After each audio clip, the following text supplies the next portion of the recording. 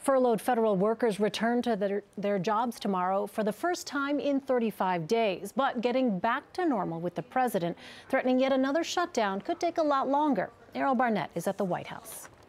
He's willing to do whatever it takes to secure the border. On Face the Nation this morning, acting White House Chief of Staff Mick Mulvaney says President Trump is prepared to shut down the government again to get border security funding.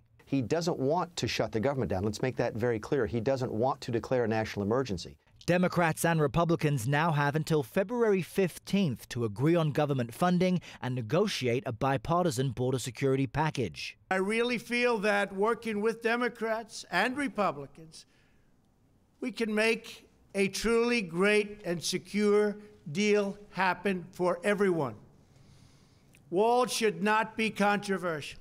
Today, moderate senators suggested what could be included in a bipartisan agreement. It's going to be a combination of physical barriers, technology, more Border Patrol agents, more immigration judges, more sensors. An immigration reform has to be part of it. Just putting money towards a structure is not going to do the job that needs to be done. Maggie Ewell, who works at the USDA, was furloughed during the shutdown and returns to work tomorrow. We're going to try to settle our bills. She is one of 800,000 federal employees awaiting essential back pay and is fearful the worst is not over. I am very nervous because if we shut down again in three weeks, we'll be right back where we started.